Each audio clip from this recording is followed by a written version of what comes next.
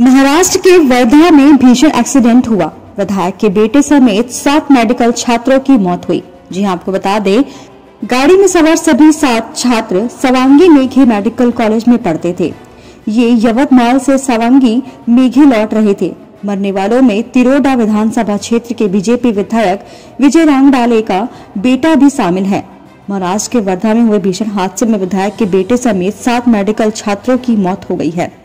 हादसा सोमवार देर रात हुआ। जानकारी के मुताबिक सिलसुरा सिवार से गुजरते समय छात्रों की गाड़ी के सामने जंगली जानवर आ गया। उसे बचाने के चक्कर में गाड़ी अनियंत्रित हो गई और पुल को तोड़ते हुए खाई में गिर गई।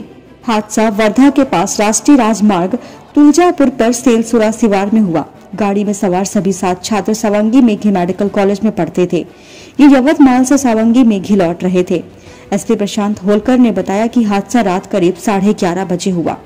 मरने वालों में तिरोडा विधानसभा क्षेत्र के बीजेपी विधायक विजय रामडाले का बेटा भी आविष्कार भी शामिल है।